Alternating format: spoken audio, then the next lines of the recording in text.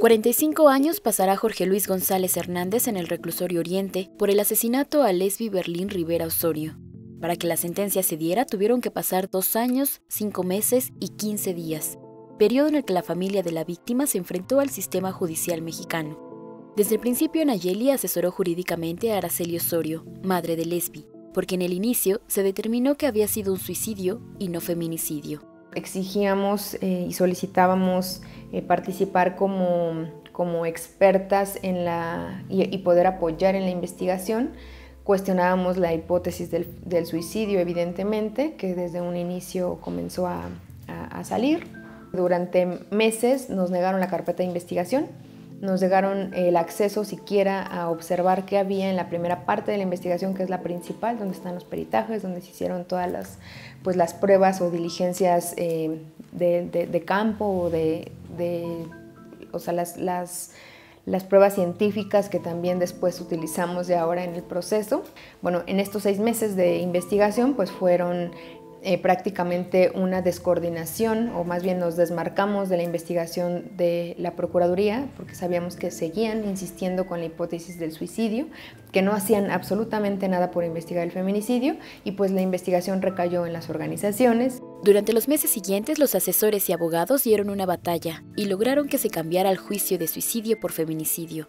Para ello trabajaron con el perito internacional José Mario Nájera, quien ha colaborado en casos de feminicidios digamos, fue un trabajo titánico, ¿no? O sea, titánico la investigación, ¿no? Eh, y el juicio en sí mismo fueron eh, casi 60 medios, eh, bueno, casi 60 pruebas o alrededor de 60 pruebas las que desfilaron en ese juicio oral entre testimoniales y periciales, pues también parte de lo que había realizado la Procuraduría se rescató, digamos, para, para, para sostener esa verdad. Nos, nos, nos parece que es un un eh, magnífico antecedente o es un precedente eh, que necesitaba esta sociedad para otros casos, ¿no? O sea, queremos que el caso de Lesbi, si se está juzgando con perspectiva de género, sea el parámetro para juzgar en todos los casos de feminicidio.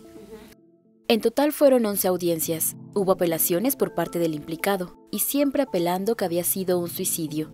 Sin embargo, la defensa de Lesbi pudo responder cada una de estas. Entonces en estos meses que parecía que estaba en el estaba en espera el caso, pues en realidad estábamos dando una batalla este, pues por la, negligencia o por las omisiones y por el criterio de la Procuraduría que, tuvo desde un inicio. Aunque nos tachen a veces de, o sea, que nos enfocamos o nos tachen en verdad como punitivas, ¿no? Este, no saben lo que significa el no tener justicia, el estar acostumbradas a no escuchar nunca una sentencia condenatoria. En su momento el caso se intentó llevar al Tribunal Superior de la Justicia.